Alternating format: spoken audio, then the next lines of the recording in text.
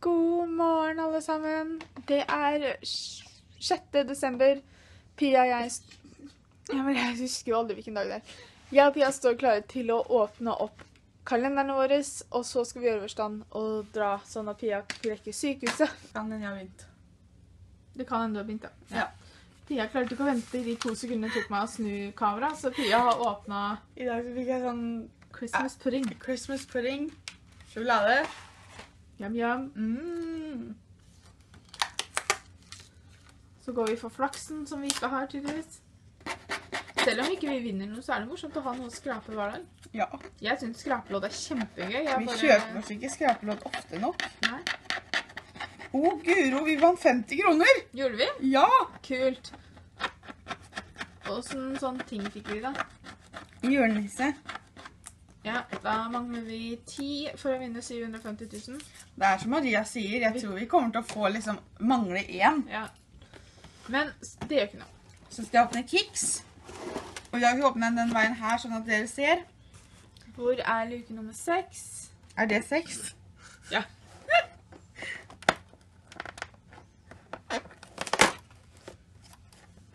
Oh, strikker! Uten sånn plastikk... eh, Greie. eller den metalldingsen, så det her er jo helt perfekt, for det er jo det vi bruker. Yay. Woohoo! Svart, også noe vi bruker. Guro leter. Og leter. Jeg fant den i går. Tar på åpne nia. Her! Ut på kanten! Hva er det for noe? Det er visst nisse med en sekk, men det er jæslig dårlig. Ja, det rakk ikke jeg å se, men det er greit. Vi må få pynta juletre i dag, for vi har så mye pakker liggende. Jeg, endelig en av de tynne! Nå er jeg spent. Det står på engelsk på den ene sida og Ja. fransk på den andre. Be a true original. Ok. Don't mind if I do. Hva er det? Det her er en lip definer uh! i fargen something.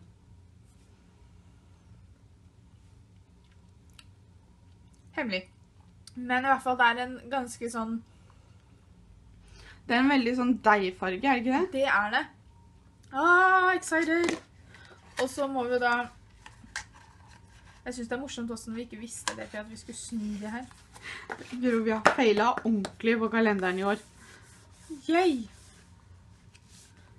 I morgen skal du åpne sånn fitte liten en. Ah.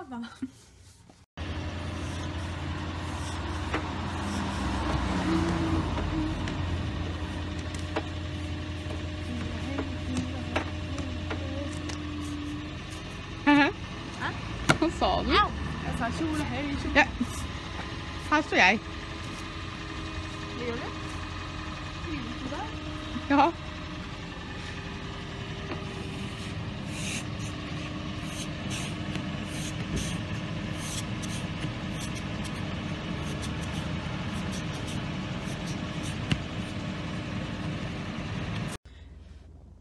Jeg er veldig kjapp. Nå har jeg vært på fyllinga, og jeg tror jeg slapp av Pia for ti minutter siden. eller noe sånt. Eh, men det, det var jo ikke noen andre folk der, så det gikk jo veldig radig. Eh, jeg må si det at i går så fikk jeg, jeg var jeg henta en pakke fra Boots hvor vi hadde Hvor vi hadde kjøpt noen julegaver og sånn. En av de tinga vi fikk, var feil. Hadde, jeg hadde bestilt en julegave til Petter som ikke kom, og så fikk jeg noe helt annet isteden som ikke jeg da kunne gi han. Så sendte jeg mail til dem i går og fortalte hva som hadde skjedd, og sagt at jeg fikk feil vare og sånn. For det syns jeg man skal si ifra om. Um, og så fikk jeg mail i dag om at de skulle sende meg det jeg egentlig hadde bestilt, eh, og at jeg bare kunne beholde det de hadde sendt feil. Så det var veldig bra kundeservice, det må jeg virkelig si. Sånt liker vi. For da får jeg liksom gaven jeg skal ha til kjæresten allikevel. Um, samtidig som vi da fikk um, en liten ekstra gave fordi at det ble gjort feil. Så det var bra. Da har jeg vært i butikken. Dette er en veldig rar vinkel, men jeg har satt dere fra meg bak rattet. Fordi Det er så mye folk på parkeringsplassen her. Og det ser alltid så merkelig ut hvis jeg sitter og filmer meg selv som prater. Altså, Man kan bare tro det er FaceTime, liksom, men jeg tror ikke folk Folk går ikke redd til vlogging heller. Men jeg vet ikke hva folk tror. Jeg. Eh, men jeg har prøvd det, i hvert fall sette det der. Jeg har vært i butikken, jeg fikk tak i julepølse og ti kroner på bunnpris. Det syns jeg var bra. Så vi bare fryser den ned, og så har vi til julaften. Det var også ti kroner for hva heter det, risgrøt fra Fjordland. Og den er, jeg syns den er skikkelig god. Være helt ærlig så huska jeg ikke om Pia liker den, fordi det er én type av disse ferdiggrøtene som Pia liker. Men jeg huska ikke hvem av dem det var. Så jeg kjøpte en til henne, og så får vi se.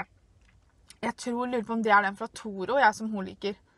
Den som piper i mikrobølgeovnen når han er ferdig. Skal vi se. Det ble litt rart å sitte med dere der, egentlig. Så nå sitter jeg bare og venter på Pia, som da igjen er hos psykologen. Det eneste jeg ikke fikk tak i, var egg. Fordi de hadde sånn 18-pakk med egg, men den var mye dyrere enn det du på en måte kan få egg for. Så da tenkte jeg at da gidder jeg ikke å, jeg ikke å kjøpe den der. Da får vi kjøpe egg et annet sted. Jeg er litt sånn, jeg kjenner at For jeg, venter på en del sånn bestillinger på nettet nå pga. julegaver og sånne ting. Og jeg vet at vi bare er på 6. desember, men jeg er jo litt bekymra for at ikke ting skal komme fram i tide til julaften. Igjen, det er 18 dager til jul, så det bør ikke være noe problem. Men uh, bekymra er jeg jo. For jeg vil jo gjerne at alle julegavene skal komme fram. Det er spesielt noen som er veldig viktig at kommer fram før jul. De vet jeg at har blitt sendt, men de kommer utenlands fra. Så det er det, da. Hvorfor er det ingen som har sagt til oss at det fins julekalender i vår favoritting? Juleskum! Jeg og Guro fant den her på Joker, og så altså, desember har jo begynt. Vi bare eh, Vi må ha den her. Så nå har vi jo noen dager å åpne. Yay! Så den her skal vi da åpne annenhver dag, for vi har kjøpt bare én. Eh, så jeg Og det, vet du hva det kalles? Selvkontroll. Eh, men jeg tenkte at jeg skulle begynne med én. Er den pakka inn? Ja.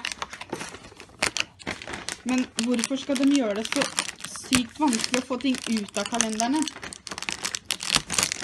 Så jeg skal da åpne én, og så skal jeg åpne tre. Denne her.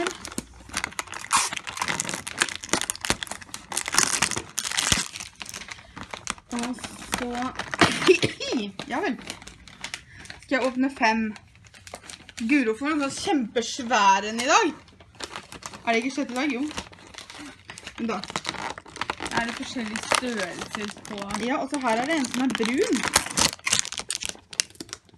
Brun? brun, hva er det for noe? Det er jo ikke den gode. Ja, da skal jeg åpne to, fire og seks. Jeg har sett fire. Her er to. Jeg, han var rød!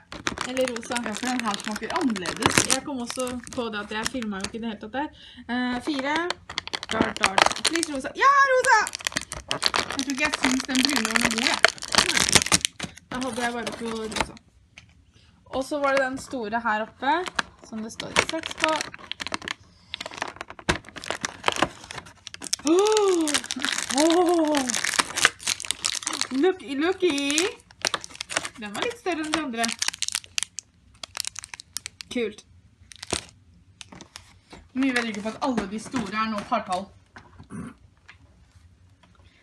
12 stor partall.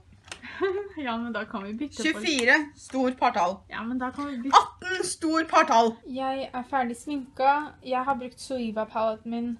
Den fikk jeg av Pia til jul i fjor. Jeg har brukt Warm Silver. Så har jeg brukt Bronze Bronze? I don't know. En grønnfarge i hvert fall. Og så har jeg også brukt Alloy. Chipoloi. Chipoloi. Så de er veldig fine. Jeg digger maskara-kombinasjonen jeg har på meg i dag. Det er den her fra Cargo. Triple Action Mascara. Og så er det Clinique sin. High Impact Mascara. De to sammen, veldig, veldig bra. På leppene så har jeg også den her. Det er NYX Linger, Linger, Lingerie. Ikke sant? Um,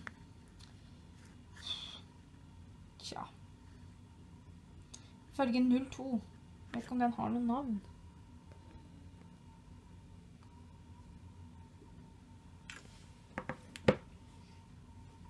Jo, vil ikke fokusere. Ja, men den har navn. har det? Ja.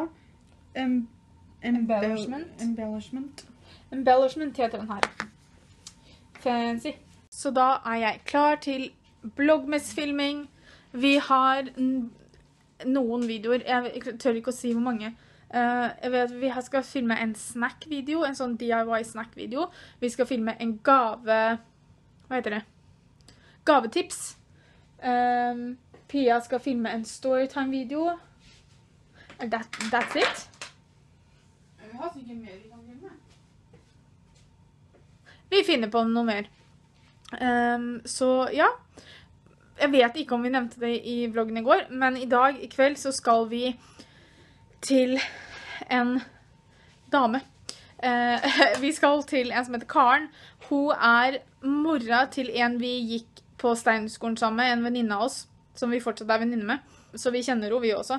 Men hun er også en venninne av mamma, og hun skal lære oss å bake kransekake. Hvis dere har fulgt oss så prøvde Når er det vi prøvde på det, Pia? Var det i sommer, eller? Ja, så det var i oktober.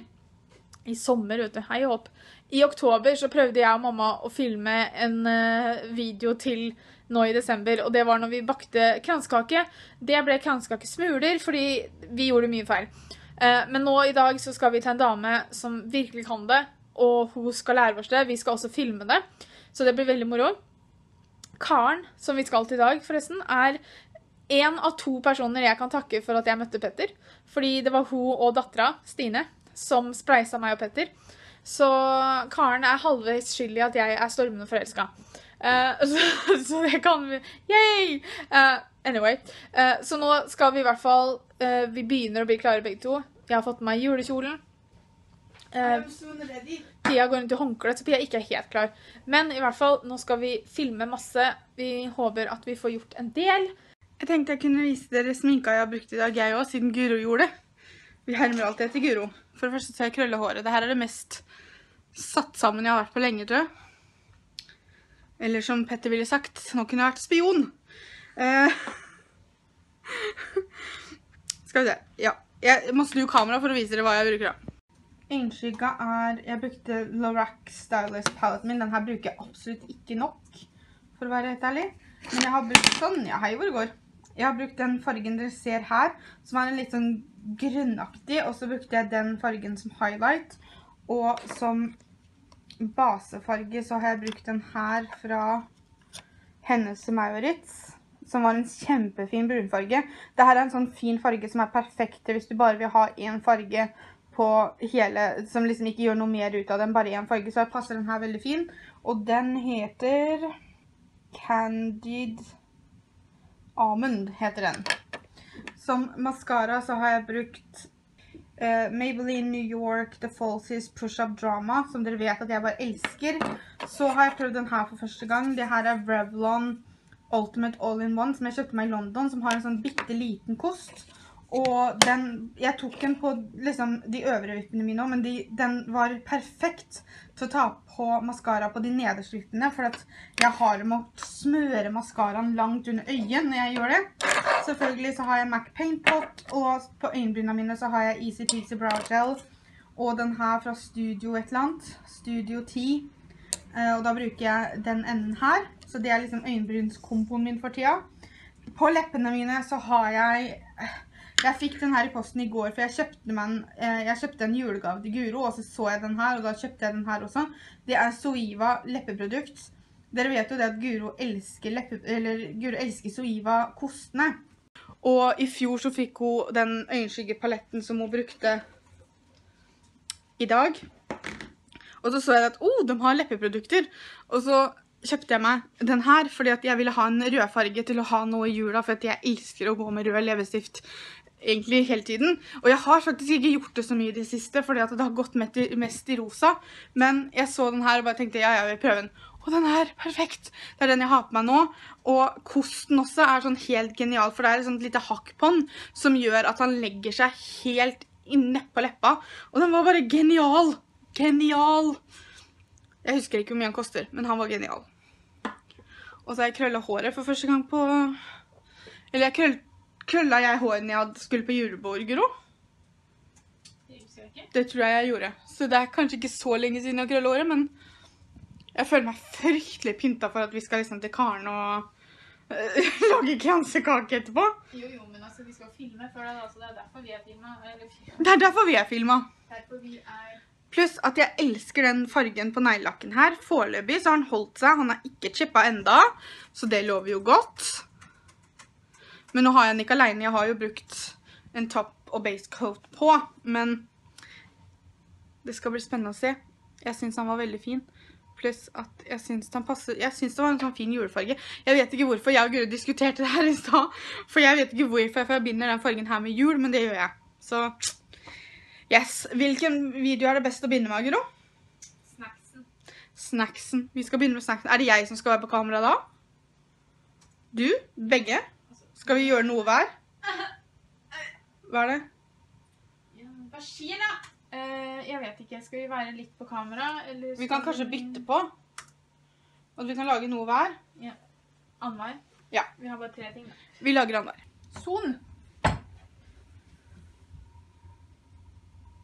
Det har ikke smelta ennå. Nei, gud, de har stått inne i to sekunder. Jo, jo, men man skulle kanskje tro at det begynte å smelte. Men nei. Intro. Eh. I dag så skal vi ta for oss litt julesnacks, og de, alle de her er da Pinterest-inspirert. For vi har fått helt dilla på å sjekke Pinterest for sånn DIY-ideer og snacks-ideer og sånne ting. Jeg vet at den ene som dere skal se Guro lage etterpå, har også Zoella eh, tatt for seg i sin video. Men det her er veldig kjappe, enkle snacks-ideer som jeg tror dere kommer til å like.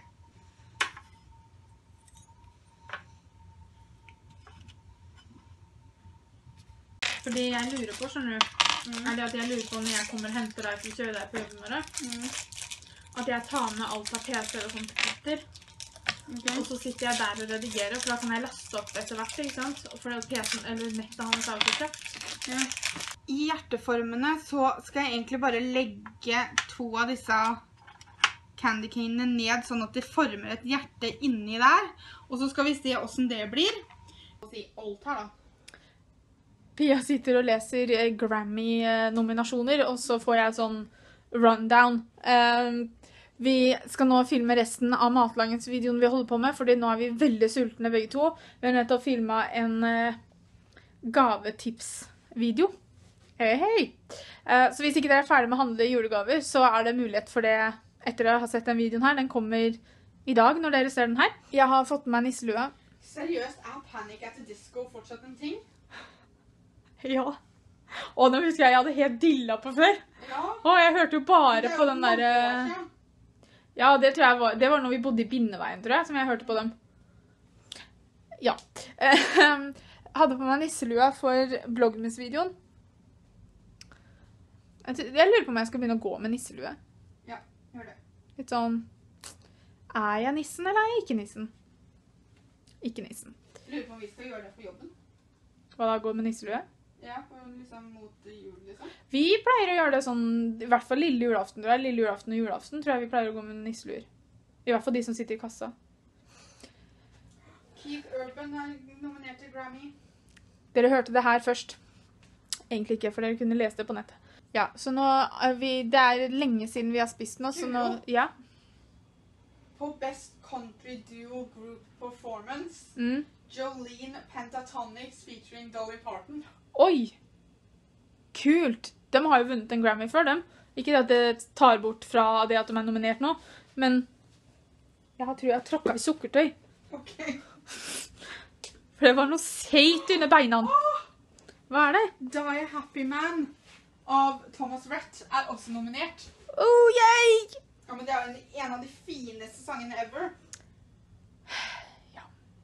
Litt behind the scenes. Jeg vet ikke helt om dette sukkertøygreiene blir noe av.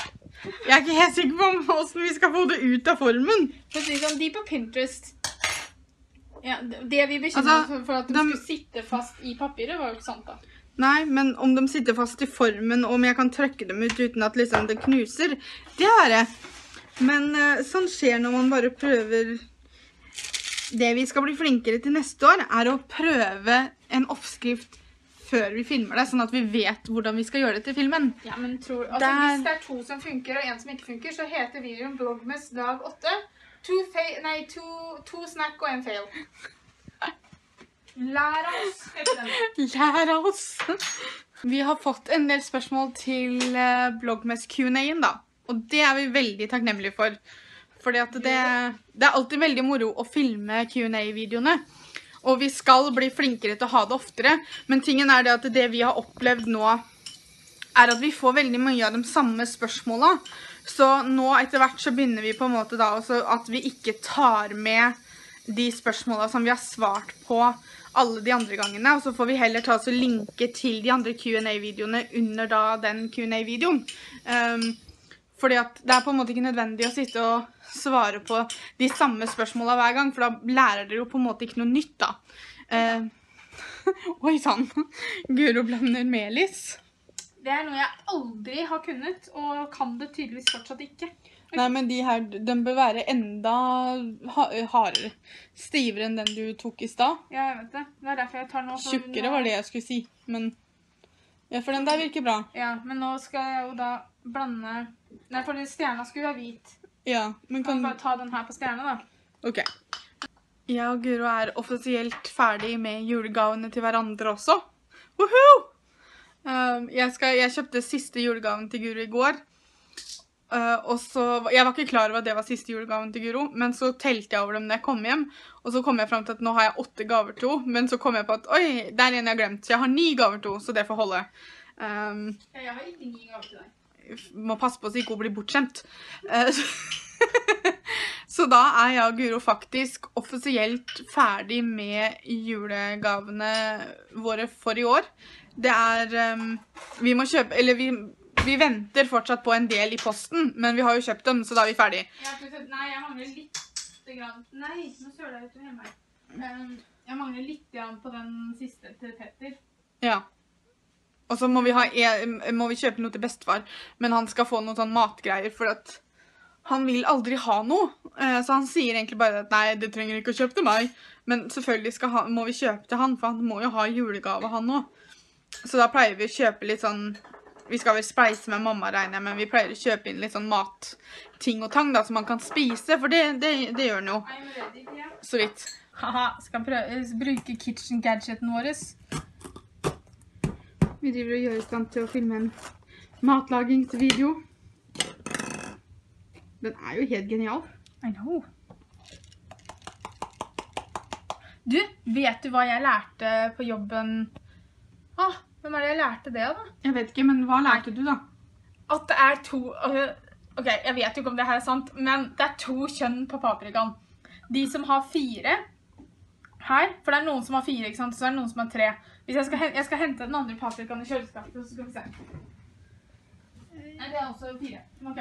For det er noen som har fire derter her, og så er det noen som har tre. Og det er tydeligvis dem som har fire, tror jeg det var, som var hokjønn. Og var da søtere. Mens den som har tre, er ikke fullt så søt og passer best i matlaging. Jeg vet ikke om det er sant, men det var det jeg fikk vite. Og jeg syns det virka veldig interessant, for det hadde jeg ikke hørt før. Nei, det må jeg si. Jeg husker ikke hvem det var som sa det til meg. Det var jo en som... Mari var det som sa det til meg, for hun sa det når vi var i, Ski? når vi var i Ski. Vi holder på å lage lunsj, eller middag heter det. Risboller, som Tia lagde også når, hun var, når vi var veganere. Så det her blir spennende å smake på. Pia sitter også og gjør research til en annen blogg. Hvor forsvant den? bloggmissvideo vi skal ha. Vi skal brette servietter. Så Men jeg ser ikke hva de har gjort. ser dere hvor konsentrert hun er? Jeg prøver desperat ut å finne ut hvordan vi bretter denne servietten om til et juletre.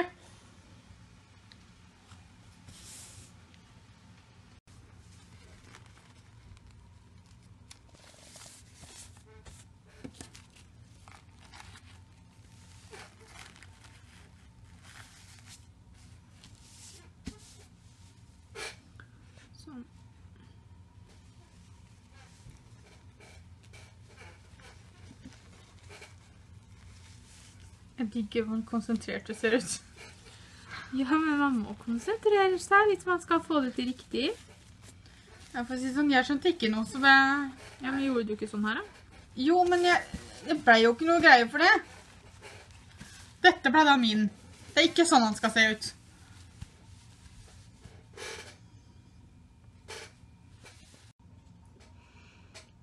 Tydeligvis så har jeg ikke IQ nok til å skjønne hvordan man skal brette servietter. Til og med når jeg har step by step bilde. Så var det for mye for meg. Flott, flott. I am tired. But I so don't get what they're doing now. Nei, det er jo det jeg mener. Jeg skjønte ingenting av akkurat den siste her. For den har vi jo nå. Ja, men hva gjør de Men hva er det her?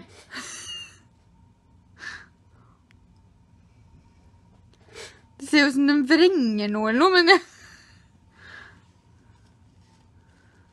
De gjør jo ikke det heller.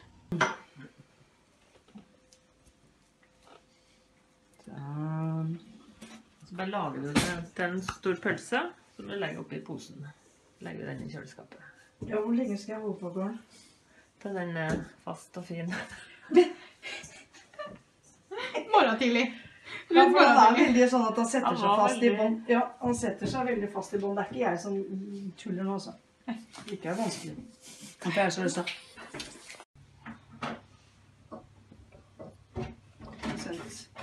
Til Stine. Ja da.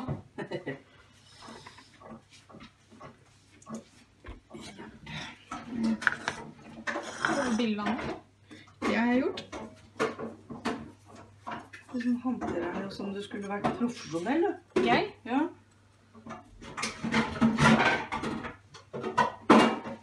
Stine gjorde det faktisk for første gang i helga.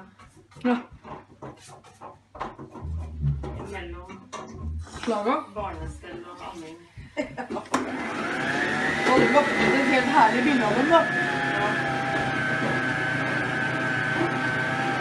Jeg skjønner ikke hva det går, jeg, når jeg kommer hjem.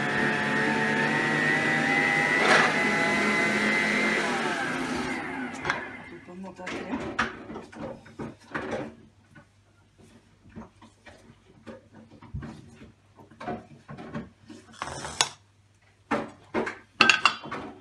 Sett på maken? Hallo. Hallo. Hallo. Er du maskinansvarlig? Jeg er maskinansvarlig. Det er Tryggest. Ja, det er tryggest. Det, det var vel det rette ordet, det. Men Vi kan jo bytte, så la mamma prøve. Nei, Nei, nei. Det Passer meg, passer meg best som maskinfører. Sikkert hvis jeg skal øke farten, da. For sånn stopper ikke med en gang. Det, det, Neida. sånn at det får jeg ikke til. Nei da. Da må du bare sånn Oi.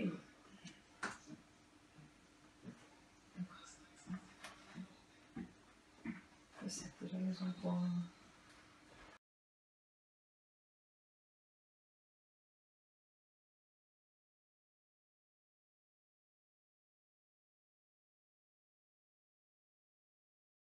Jeg driver og koker meg en kopp med te, og så skal jeg gå og legge meg etter det. Så jeg tenkte at jeg kunne si natta nå, sånn at jeg får redigert vloggen mens jeg drikker teen min. Tusen takk for i dag. Vi ses igjen i morgen, og så får dere ha en veldig fin dag. Det synes jeg dere fortjener. Så får vi se hva vi finner på i morgen. I morgen skal jeg spise flesk og duppe. Jeg skal spise flesk og duppe! Yeah, yeah, yeah. Tusen takk, Petter.